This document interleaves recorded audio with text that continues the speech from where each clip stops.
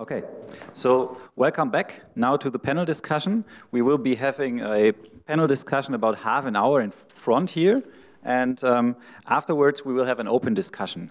Um, and uh, the panel discussion, the idea is that, well, we give the microphone to you, then you can answer. And there will be first, we want to have a statement from each of you, so an opening statement.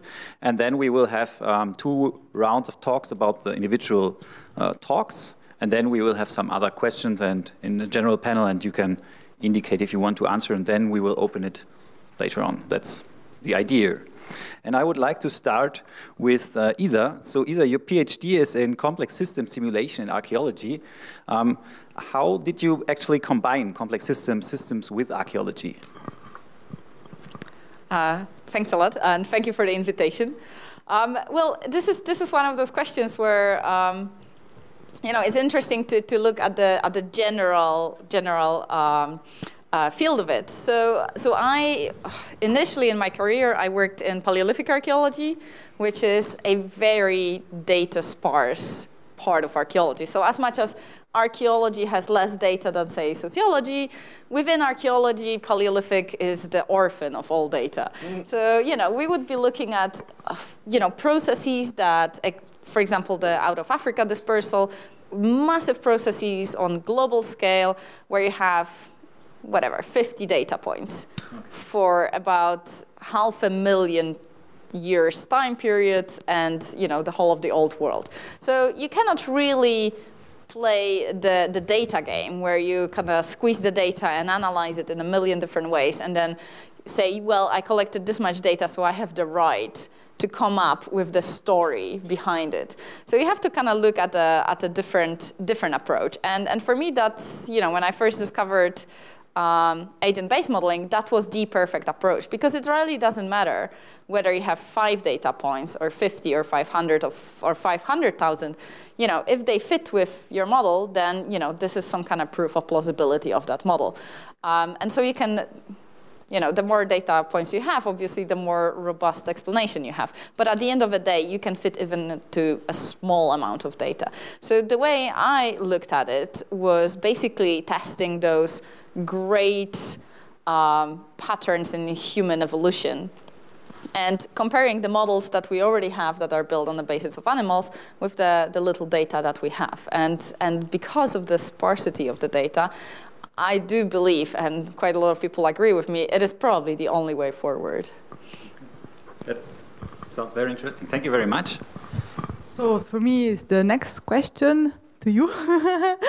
um, so you are the PI uh, of our project, and you're a chair in macroeconomics. And I would like to know how does it feel to be a PI in an archaeological project? okay, thank you. Well, feels very good. but um, well, you might wonder, well, why does a, a, macroeconomist work in a project like like this? And this is a question that I ask myself sometimes too. so um, I, I, don't remember exactly when it was, but it was seven years ago or so. Um, uh, Arne Windler and, and Thomas Stöllner came to my office and said, well, we have a project here and we want to uh, work to collaborate with, with economists. Uh, and they um, approached me and asked, well, would, would you be interested? Because I, in the past, I did some work on, on regional economics. Um, and there are obviously some, some, some links, right? So we, we today we already talked about the spatial distribution of, of artifacts, for example, and that's something that um, people also talk about in, in economics. And I said, well, yes, why not? So I'm, I'm, I'm just curious, and um, I, I strongly believe in cross-fertilization, right, across fields, right, that you basically can learn something from different uh, um, traditions. Um, so that's very similar to what you said, Edmund, right? So and uh, uh, and this is for me really a chance to to learn something, but maybe also to um, uh, to to give something, right? So that's uh, yeah, maybe maybe enough for for for a start. Um, maybe I can can extend on uh, this a bit later. Thank, yeah. Thank you very much. Um, and then we would also like to ask you, Marc, so you have presented what you're actually doing with ABMs, and also if we look at your research, one sees and gets the impression that ABM is becoming more and more important in your work, basically. Um, is there any or can you just say why is it that your interest in ABM is so much growing? Um, I think it's the same starting point as Iza, but the other way around, in the sense that I have a lot of data. um, and for me, it's, it's three things. First, it forces me, and it's, a, it's part of a general trajectory when I try to be more formal. Um, and when you have to, you know, turn whatever is happening in my brain into a model that I will not code, I have to be very clear. And it's a challenge. And I have to be very clear to myself. So there is an element of, form, of formalism which I find extremely satisfactory. There is a second thing, which is I like the way the agent-based model generally throws stuff at stuff that I never really considered. um, never really thought about the wave of advance like that. And that requires me not simply just to sort of, oh God, what is happening, but it also asks me to be more imaginative in the way I deal with my data. Um, it can be quite boring and repetitive to account for bias and these kind of things, but to try to find new way to consider the data, to get the data, uh, potentially even go back to the field and re-ask myself other questions that I find extremely satisfactory, rather than just say, "Oh, I'm going to dig one more." And the last thing, it's fun, simply, and it's especially fun when you have to speak with someone who doesn't have a clue, because what I've discovered on many occasions is that you can have that sort of, oh, come on, you could have opened a, handbook of archaeology. But then when the person, whomever, for instance, a climate modeler, speaks to me and tries to explain what the carbon cycle is, I just say, hold on a sec. I could have opened the Wikipedia entry. So there is the humility, but there is the fun of just discovering new stuff. Thank you. I have a last uh, opening question for Edmund. So you are uh, started an economist, then changed to sociology, and it seems that you are everywhere where social and ABM are connected. Now I'm asking you a quite provocative question. If you if sometimes you can, uh, um, so if do people see sees you as a tool sometimes?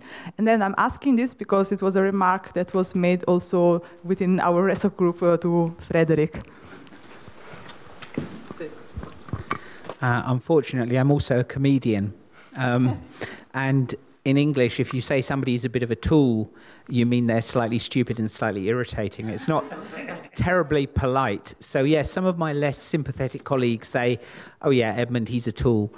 Um, but to take the question a little bit more seriously, uh, yes, it's a research method, so you can apply it to anything.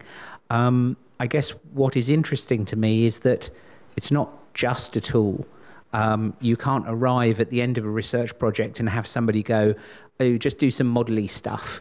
Um, and statisticians sometimes have the same problem. Somebody will hand them a heap of data that's been collected in no sensible way and go, go and do some statisticky stuff and discover something really interesting. Uh, and in a way, what's interesting for me is to be in the project at the design stage and to be involved in the data collection so that the questions are the right questions to help a modeler rather than just random questions that won't help a modeler. Um, and it's it's how to produce those bits of the the research process for an agent-based model to make it work better. So yes, a tool, but not just a tool. I think is is the answer. Thank you. Yeah, thank you, thank you very much. Um, so what we, as I said, would now like to do is to discuss a bit between you first um, the talks and starting with Edmund's talk. Um, I would like to ask first the others, uh, the panelists and also Marc, um, about what you think about this talk. So is there something which you found particularly, um, well, that's, that rang a bell for you or something where it was quite the opposite, perhaps? Um, I do not know who wants to give it a start. Iza, perhaps? Yeah, sure. Um, so, so the so okay. So I should start with the very very basic, which is I agree in almost every point that Edmund made. but. But I do think that sociology is a step ahead of us. And, and uh, by saying the step ahead, I can see where the frustration is coming, where, you know, if people have been created toy models for 10, 15, 20 years, you're kind of waiting for, okay, so when is that actually going to become useful as an applicable to the real world and capturing the complexity of the, the real world? And this is fair. However, in archaeology, I mean, when you look at the Anasazi model, this was the first formal model, which, you know, as much as it has its problems and as much as, you know, it could have been made better, which is very easy to say in a hindsight, by the way, um, it replaced basically people writing essay, how much essays about how much do they think that what caused the collapse was warfare or what caused the collapse was environmental change, and then arguing for decades and decades and decades over their hypothesis with having absolutely zero tools to connect it with any data of which they had plenty. So as such, this was this is this may not be the perfect model, but it is still the best model out there at this particular point. And you know, it should be regarded as a stepping stone because the whole point is that it is a constantly, you know, you never arrive to the actual truth. You cannot do it, especially for those systems that were in the past. We'll never know. But you can actually get better and better and create uh, explanations that are more robust, more consistent with data, more consistent with more different types of data, and therefore increase your actual knowledge and understanding. Thank you very much.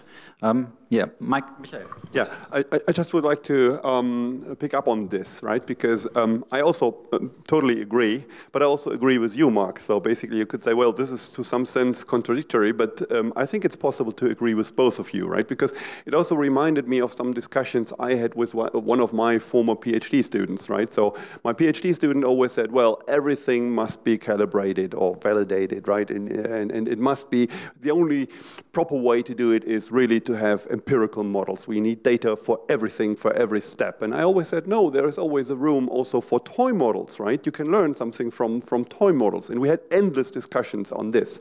And, well, I'm an economist, and she was an economist as well. And uh, uh maybe it's very similar, right? right? Because um, agent-based modeling is also new in economics, right? So, and maybe sociology is a bit more advanced. And, and for, for um, economists, this is something new. And I would say, well, let's start. Let's start with toy models. Let's show that you can do uh, things in a different way, and then we proceed. And I would say, well, your position, so to, to make a stylized uh, um, statement, what, what, what, you, what you argue for is an idealist position, right? You were talking about the truth, right? And, and how do we discover truth? And I would perfectly agree that that's the proper way of doing science, right? So basically, we uh, should have a, a, good argument for everything. We should have a theory for uh, element selection and, and all these things, right? So, and this, I, I totally agree. But on the other hand, I also agree with Marc, and this would be more a, a pragmatist uh, approach. What, what can we do, right? What is possible, and what is possible in some finite amount of time, right? So it's always a question, when can you deliver what, right? And um, to, to get things started and to get some first idea, it may be worth working with, with toy models and maybe forgetting about uh, uh, uh, data or being very sloppy with, with data in the beginning, right? And I think this can be reconciled. I think it's not a contradiction. Thank you very much. And um, so, Marc, as you have also yeah, been mentioned. Um, um, let's let's not go into the into the calibration thing. We can, we can go back to that. The one thing that for me was, I think, key was element sele element selection what is the right question? Um, and it's really, really, really frightening how much in archaeology this element selection has just become a sort of a an epistemological war of I am right because the world is ecologically determined, or no, it is not because the world is phenomenological. Sort of, oh, come on, do we really need to get to that high level of? Actually, it's not so much a high level. It's kind of. It's a low level. It's the low level of three of three pints in the evening on a Friday when you when you board, whilst actually. What I really liked about the, the agent-based and what you, yeah, what you were saying is we need to really consider element selection and what comes, what is the price, what are the implications of this element selection, how are we going to make it happen? And that for me is key beyond the, oh, come on, really? that again? Thank you very much. So, Edmund, What do you take of these? Um, I think I'm only going to pick up one, and I'm not going to be able to answer it. Um, I can't get away from this concern. The Schelling model is interesting, it is clear, it is exciting, it makes people think. But afterwards, I'm not sure what we have learnt. We've clearly learnt something. We know something we didn't know before, but what have we learnt? Have we learnt something about a, a city? Have we learnt something about the behavior of a formal system? It feels good, but what is it? And I'll just leave that there. I can't answer that question. If I was able to build a better model of the Anasazi that fitted the population data better with less tuning, and I'm, I'm not sure I could because I'm not an archaeologist, but maybe I could help, then I would know what I had discovered, that my account of what happened in the Longhouse Valley was more plausible than Axtell's account. But with the Schelling model, I'm honestly not sure, and that's not even a criticism. It's just, uh, what is this thing? What, what have I discovered? Perhaps Michael wants to say something to this I think this is a very, very deep epistemological question, right? So the, the two questions. The first question of uh, element selection, right? Because in in reality, these people with the soft holism are right, right? In, in the end, everything is connected to everything, right? And the, uh, the, the, question is, wh well, where do you stop, right? So basically, what do you include and what do, don't you include? At least if you, when you're talking about social systems, right? When you're an engineer and you're constructing a machine or something, well, then you can say, okay, this is where the system ends, right? And it's relatively easy to describe the system. But when you talk about social systems, it's very difficult, right, to, to, to, to draw the, the, the, the borderline and say, well, this is what, what should be included and whatnot. And we, I think in general, in, so, in the social sciences, we don't have a theory of that, right? So I think this is very difficult. And the second very hard question is, well, how do we get that, how do we make that step from a model to the real world back again. A model in the end is always a model. The model is not the real world, right? Um, the map is not the territory. And basically, how do we get from the model to the real world? So in economics, we also have this discussion um, uh, how, because as economists, we are typically very sloppy there, right? So we, um, we have a model and we say, well, this is somehow similar to the real world, and we, we are very, very brave and make very strong uh, um, statements and draw very strong conclusions for, for, for policy and how the world should be. We make, make very strong normative um, um, statements derived from very simple toy models, right?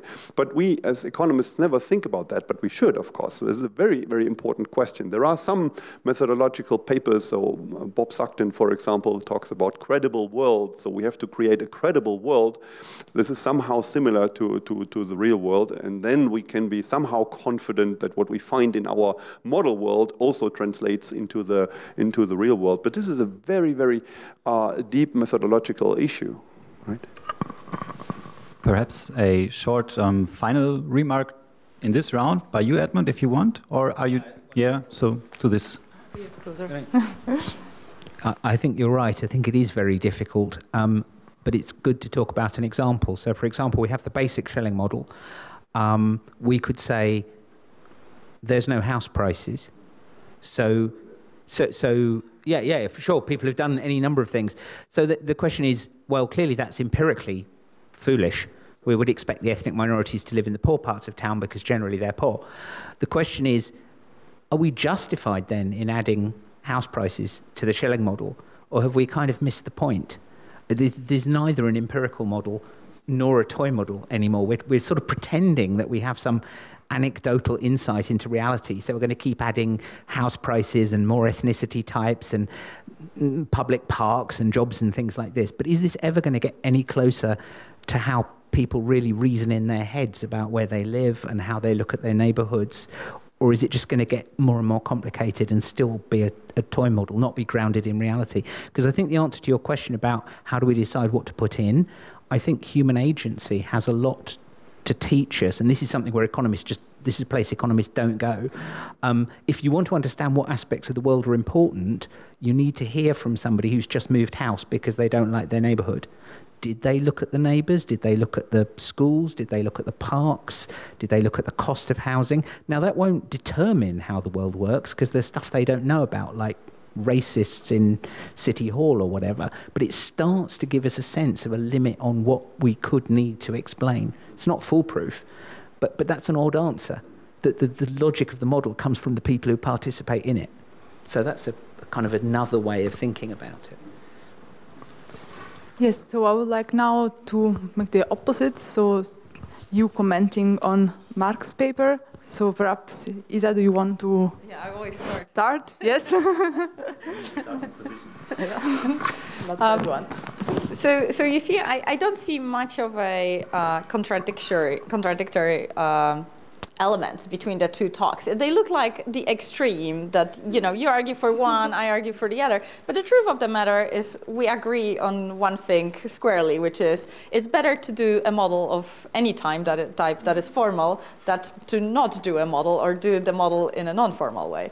Um, and you know, I, I think you know when you think about the complexity of models. Um, so this is this is uh, this is not my thoughts. This is my super ex supervisor's thoughts. Uh, Seth Bullock came up with this um, with this you know, it's a kind of pyramid shape kind of uh, balance of like how can you build a model and there's always a trade-off between realism precision generalism and tractability and you know when you think about it with an example that the most common example of a model that you can ever think of that we're all familiar with is a map and so you know a map can be very precise but that means it will only cover a small area. So I don't know, military maps, they're super precise.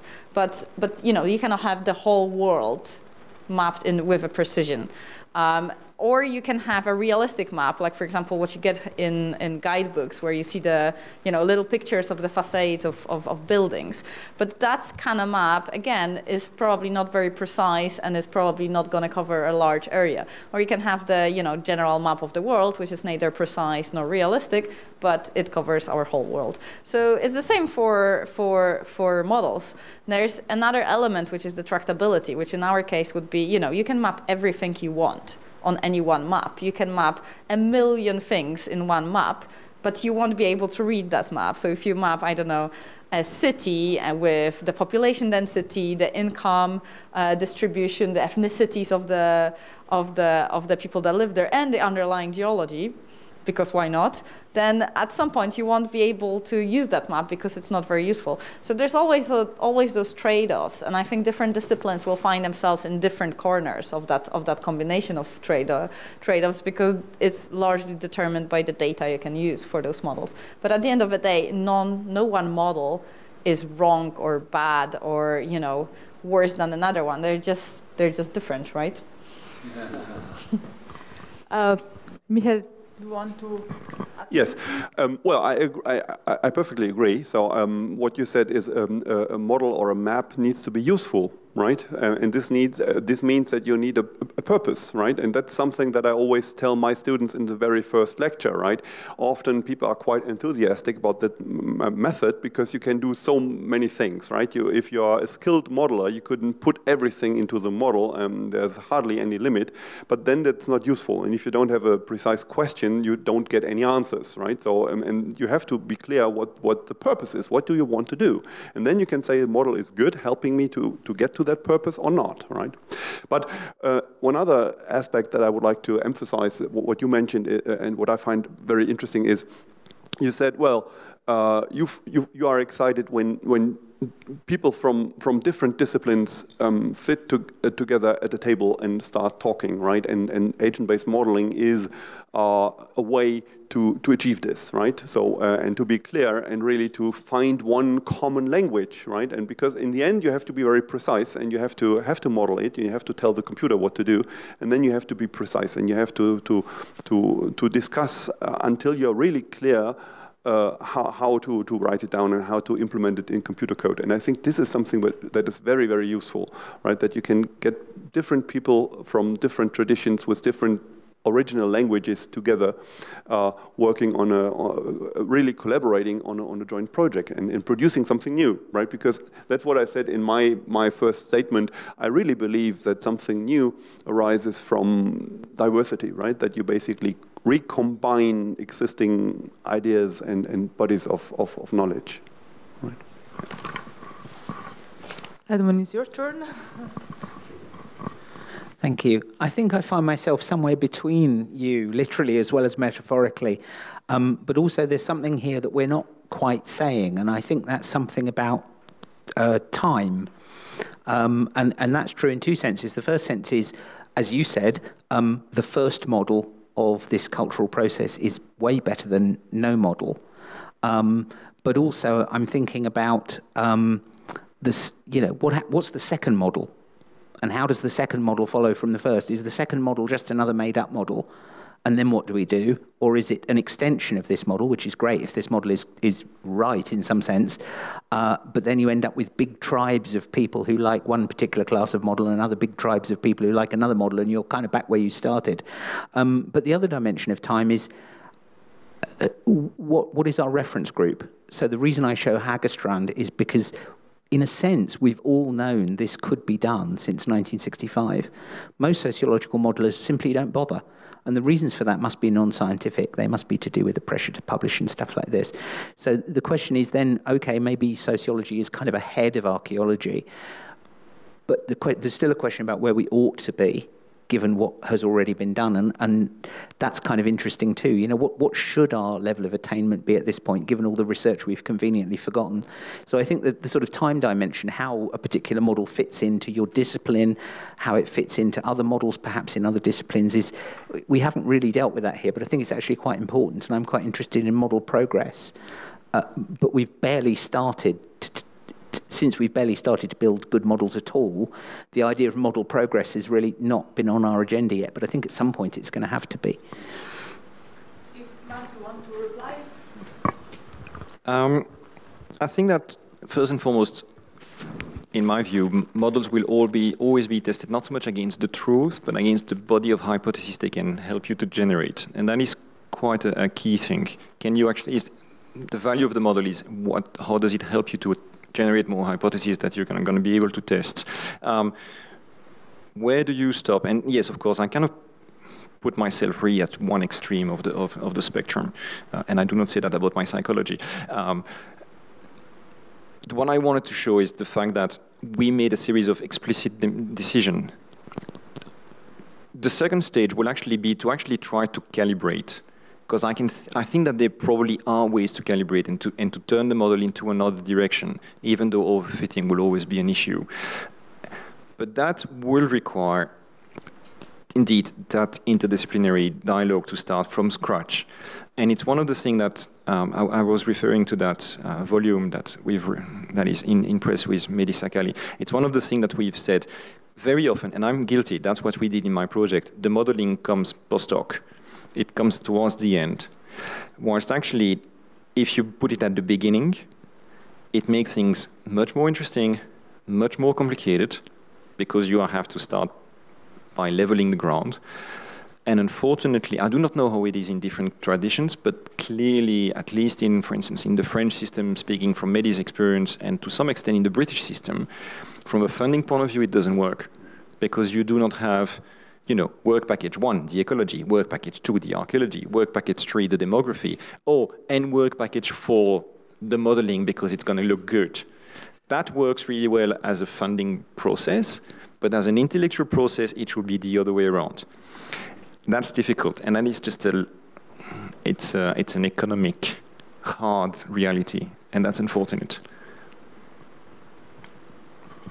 I perfectly agree, right? And uh, I think this is a, an, a, um, a, question of the sociology of science, right? So, um, uh, who is allowed to collaborate with whom, for example, by the constraints, and what what kind of research are we allowed to do, right? You said, well, in principle, you should document all your steps, right? And you should also not only the the coding and the formal model description, but you should also, as I if I if I got you right, you should also document, for example, your discussion discussions, right? The discussions that you had with your with your colleagues, right? And and also maybe the the dead ends that led nowhere, right? But this is extremely hard to do, right? You are basically uh, punished if you do this, right? You're not rewarded for doing this. What we are all uh, rewarded for is writing scientific articles, but uh, you, you don't have a chance uh, of, of explaining everything on 30 pages in a, in a, in a, in a normal uh, journal article, right? So that, that's the way how we organize the scientific system, right? And um, you and I and everybody who, who, who, does this kind of research always has to uh, defend himself or justify why we are doing this. Why are you collaborating with archaeologists, right? Why are you talking to sociologists, right? You are an economist.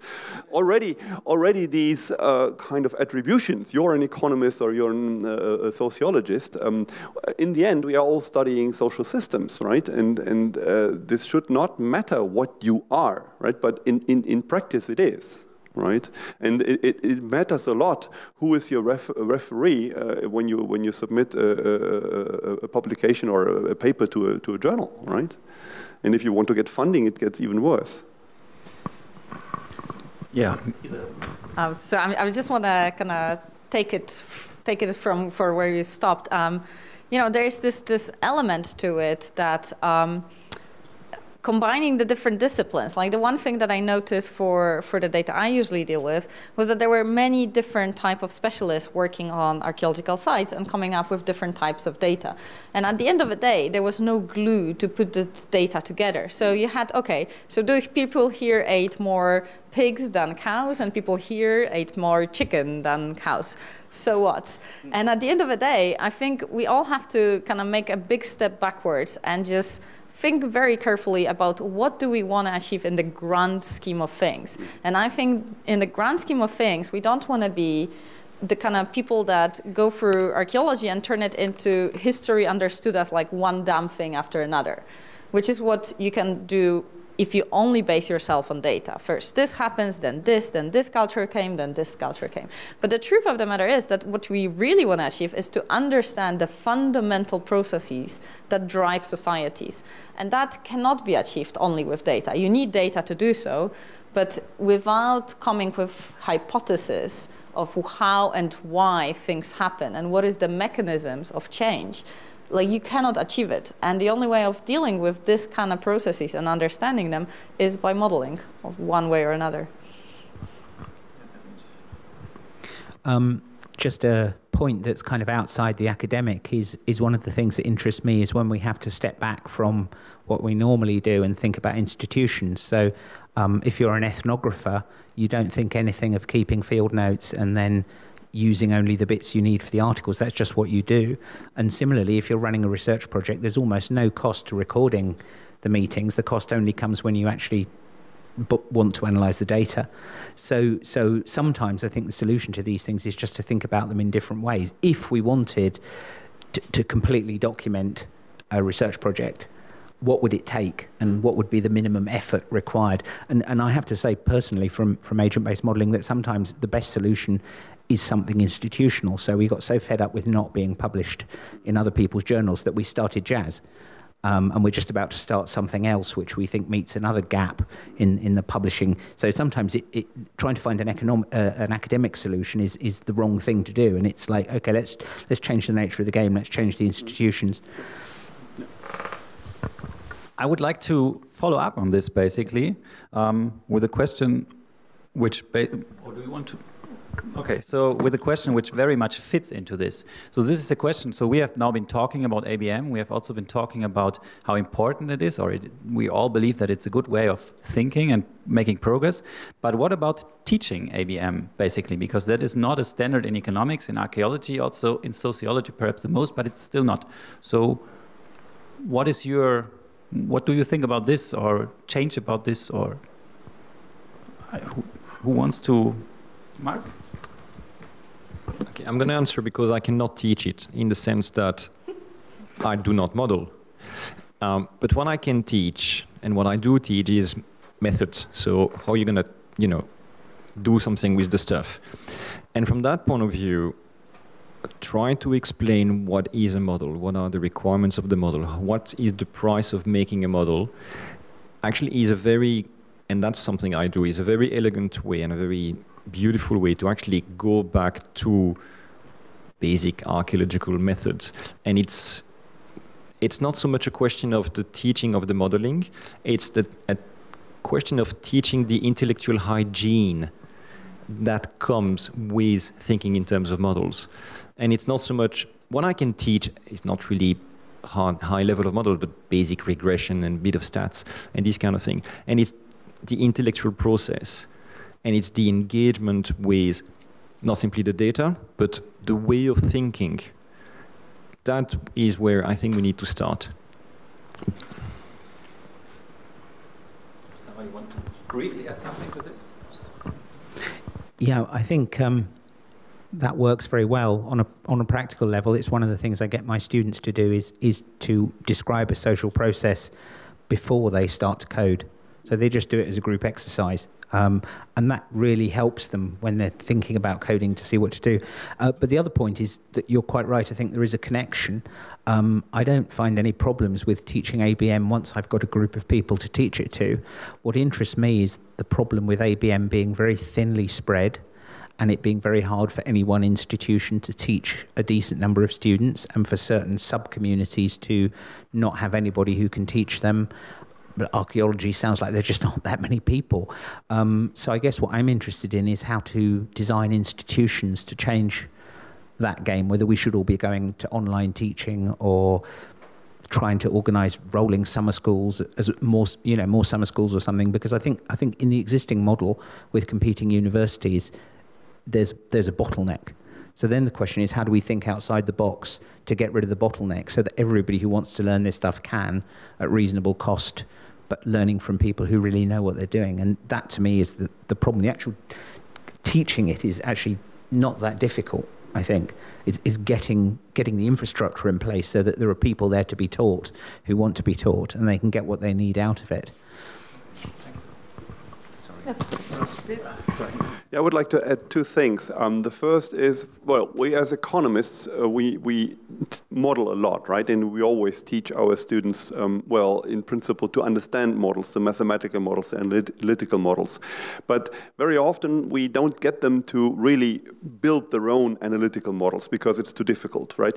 But if you do agent-based modeling, you can get them started and doing something quite quickly, right? Uh, even if it's stupid models and if it's not very, if it's toy models, but still, right? You can get them doing something, and this is really valuable, right? So that's one thing. That's what I really like. But on the other hand, you say teaching is simple in principle. Yes, it is. But what I really believe is if you want to train somebody uh, in agent-based modeling, there are at least three elements, right? You have to teach them in theory and and modeling, right? So basically, you have to teach them some background and and how to build a model. Then, of course, you need the implementation in the computer, right? And uh, at least you need some basic knowledge. Even if you're not a programmer, you still have to understand what the computer does and, and how algorithmic thinking works and so on. And thirdly, data, of course, right? How because what you get out of your model is data, right? You get lots of numbers and you have to analyze them. You have to basically you, you have to visualize your data. You have to do statistic, statistical analyses, and that's an awful lot, right? That's difficult, and it's probably nothing that one person can or should do, right? You basically need teams, right? So you uh, ideally on a team you would have at least three, uh, three, three persons, one with a theory, theoretical background, one with a programming background, and one with a data science or a statistical background. But still you have to uh, uh, you have to prepare everybody that they can collaborate in such a team, right? And this, this is really a challenge because it's a lot, a lot, right? It's just very much. Perhaps yeah, just a quick comment. So just a super quick comment to that and to what you guys said. You see, I think without kind of mass education, we're not going to get far because the the end game is not to get everyone to build agent-based models. The end game is to make sure that anyone that finishes a degree in sociology, economy, or archaeology understands the models that have been published and can critically engage with them. And without that, it's not going to happen. And I look at uh, GIS, which is a dominant kind of computational technique in archaeology, where it was in a pretty pretty similar state. I mean, there were some specialists that could do it, and now it's just rolled over through undergrads um, courses throughout the UK and, and other countries. So I don't think it's, uh, it's, a, it's a lost cause. I think what we need is people to basically get a little bit of agent-based modeling so that they can engage with what is published, but not necessarily train everyone to kind of high-level uh, modeler. Thank you very much. Yes, so unrelated question to this, I would like to ask you, it's okay, you are talking about teaching. You pointed out that uh, in the archaeology there is a, a NIC that is using ABM. So how, uh, in order to construct those team and those synergies, so how can you relate to people who are not using ABM and they do not know what ABM is? So this is also an important uh, question if you want to work in a group.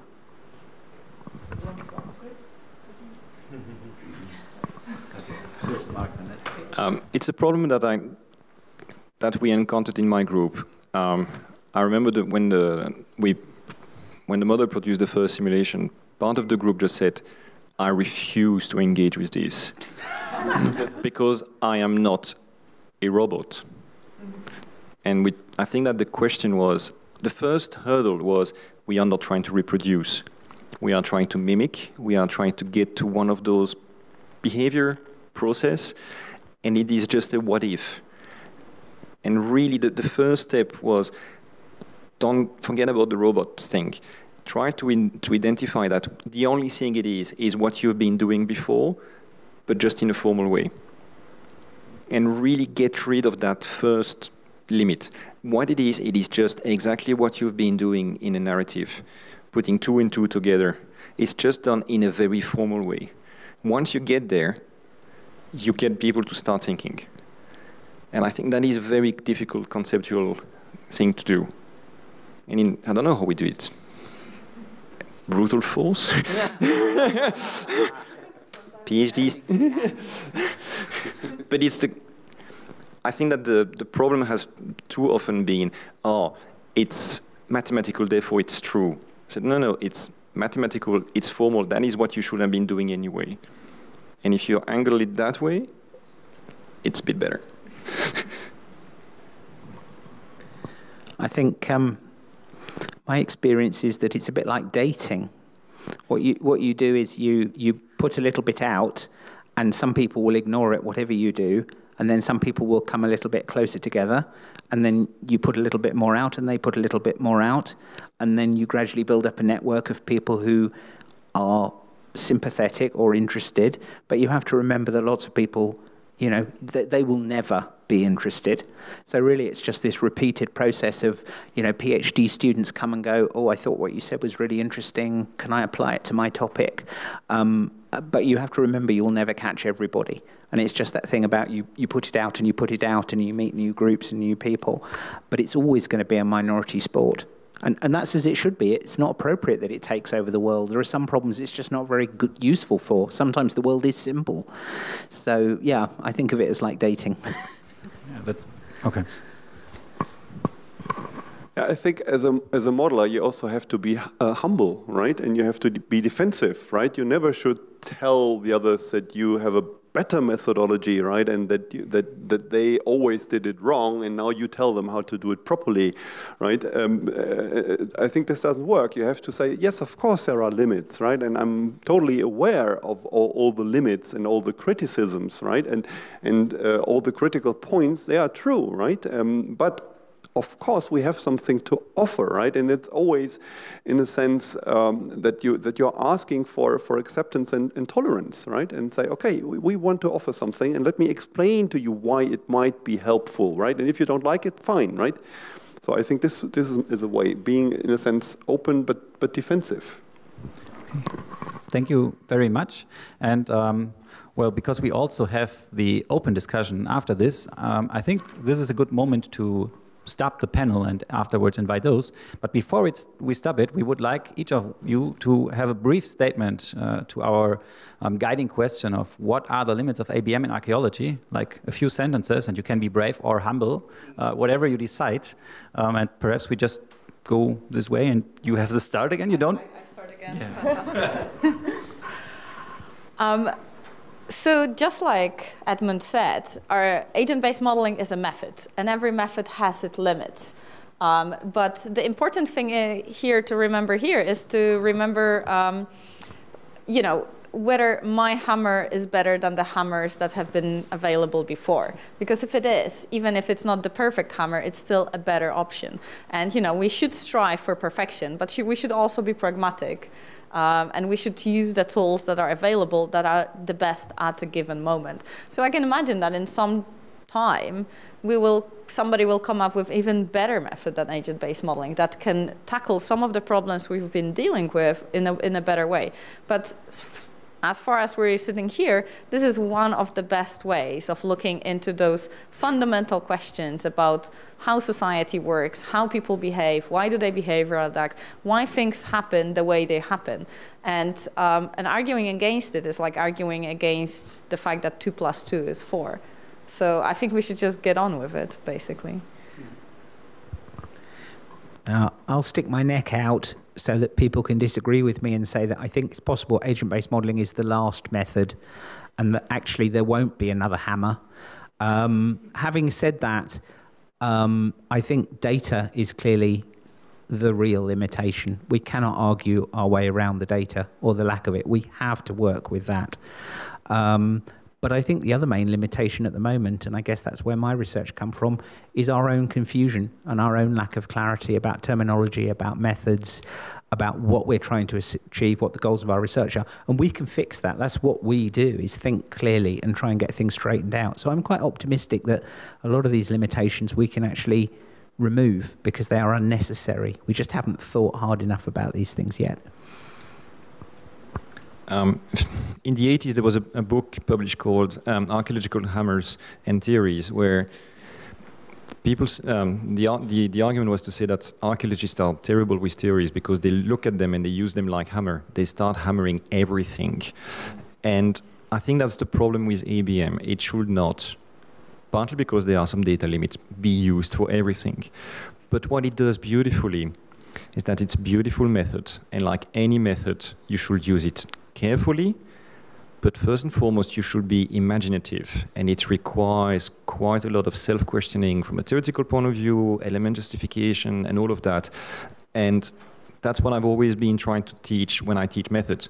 Methods are fun, methods are good for imagination, and they make you engage and get your act together. And from that point of view, I think that ABM is very, very fundamental.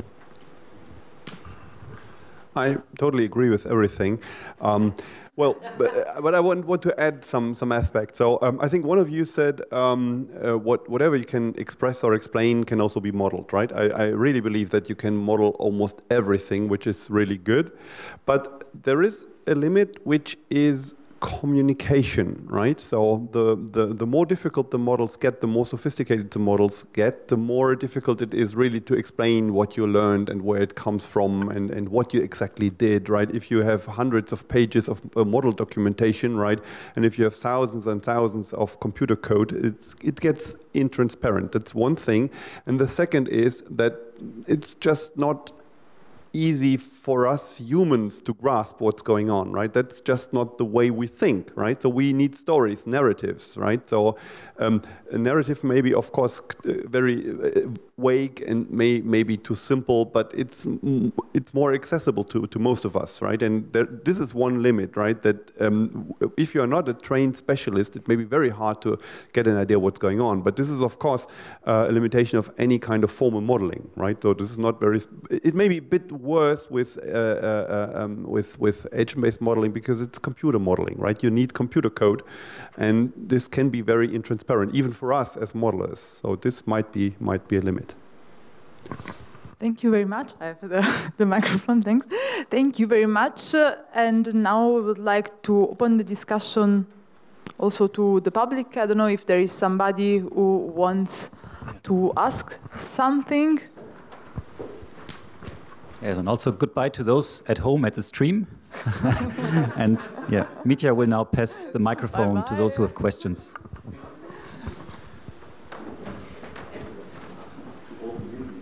The millions watching us now. yeah, we have a question. Me. Um, yeah, thank you very much for the talks and the interesting discussion. Um, I've got a question. Um, last week I uh, was on a conference and they talked about, um, there was a philosopher who talked about um, free will and determinism.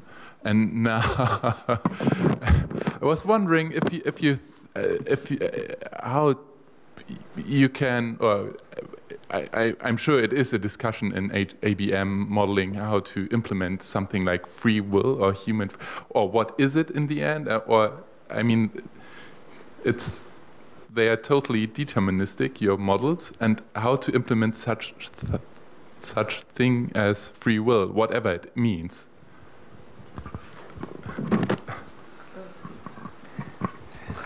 Okay, on the one hand, there's the part of me that was trained as an anthropological archaeologist with looking at ethnography that strongly believe in agency, and I do have agency. Okay, thank you. Um, on the other side, in a way, there is also a moment where I don't care, and I also realize that at the end, I'm a, just an ecological being with requirement as a species. And therefore, what it becomes is not so much denying agency, it's just putting myself at a level where I can justify that, yes, there will be some noise, agency. People do bizarre stuff and they do stuff full stop. But also, as a, for instance, at the population level, there is just something called ecology where you have to survive and where at that level the model can encapsulate an element of reality which is where agency does not really matter. And the, the thing is, what, what is it that you're trying to do? You're not trying to make a model that explains everything. You're trying to make a model that explains something at a particular level. The kind of thing that we've done works well, I think, under certain circumstances at a sort of population level, but it does not explain the distribution of any single artifact within a household of the, of the early Neolithic. So it's a sort of, it's not that it's a non-question. When people throw agency at you, it's because they don't have anything to say. I, I, I, think. Oh, oh sorry. sorry. No, no, yeah. I didn't. um, I'm always first. Um, so I think this is a great question because I think we can now show what uh, Marc meant when he said the hygiene of thinking. I will model your free will no problem. But you have to first tell me what do you mean by it. and I don't care what the definition is, but you have to be pretty specific because I have to write it in a code. So whether you and I'm absolutely fine with you coming up with five different definitions. I will code them all, not a problem. but then free will gets a matter of uh, randomness or probability, or isn't, or isn't that I was going to make this point, that point, but I think I'll try and use a concrete example. So I go to the shops, I have a shopping list, um, and I follow the shopping list and I buy the things on the list. So have I given up my free will? Well, no, of course not, because I, I drew up a list and agreed to follow it. But if while I'm walking around the shop, I suddenly think, oh, chocolate biscuits, I will go and buy chocolate biscuits. But I'm quite likely to go, oh, chocolate biscuits, not, oh, toilet cleaner because that's not what people suddenly go, oh, for. So, so I guess the question is, we don't want to just add noise to the model because that's not really very helpful. Um, but, we do know something about what free will means. It means that you, you have a plan or you have a strategy, but you also know if the strategy isn't working, or you're not enjoying it, or it causes a problem, that you might have another strategy, or you might have a meta strategy. Okay, now I need to think about this properly because my routinized behavior is not working. Now, I don't know whether that's what you mean by free will, because that's your point about you have to tell us and then we model it. But we can think about the kinds of things we might be talking about that, that you can sometimes break out of your procedure and go to a higher level procedure. But if you push that argument too far, you get back to Marc. It's kind of like, well, we can keep making difficulties for modeling and say it's deterministic, but, but at some point it just gets silly. You know, if I have a plan and I have a way of breaking out of the plan and I have a set of alternatives that will then allow me to replan, is that still deterministic or is that free will or you know what do we do that's different from that that we can understand it's but it's a really good you're right it's a really good question this is sort of one that creates a great new kind of model somehow another question perhaps anybody gary Okay, thank you. So you, since you all mentioned the importance of having a clear defined question before implementing ABM, but actually from your talk, it seems like you presumed the result, but I didn't see what's the clear question behind the, behind this uh, all this ABM research. Because, for example, if you study in the spread of Neolithic farming in Europe, what's the so you use ABM, but what's the, the question you try to well, address? You don't have to agree with me. Okay, well, I, in, in that case, yeah, I, I kind of skimmed that part. Um, so the question is, the question was very, very simple in a way. It's spread of farming is, we know that we have a population expanding. That we kind of know now. It's no problem. The, what we do not know is what is happening to the cultural package of a population expanding? Are they just keep on doing the same thing, or do they start adapting, whatever? And that was just the question under demographic expansion. So it's demographically driven expansion rather than an expansion driven by greed or something else. What is happening to the cultural package? That was the question. And the question was then addressed via one particular model. The only, the main, in my opinion, the main theoretical limit that we hit with the model was that we made an assumption regarding the nature of the interaction between the people, and we decided to go for homophily. And I can actually justify that for, for various, various, reasons. But the question was, what is happening to a population which is expanding, a demographic stress, from a cultural point of view? Because actually, from an archaeological point of view, we can tackle the entire identifying a population expanding, and there's an awful lot of literature on growth rate and spread rate and all of this kind of stuff. But we have left totally void the question of what is happening to the material culture, which at the end is what we are interested in. That was the question. And the ABM was a very elegant way to start generating hypotheses regarding that. Does that answer? But do you need to come up with answer so and then uh, to test the answer, or have just just run the model wrong and give you an answer? Is it which way should be? It's more like you come up with the answer first and to. So from the engineering literature, from the world of engineering, comes the answer.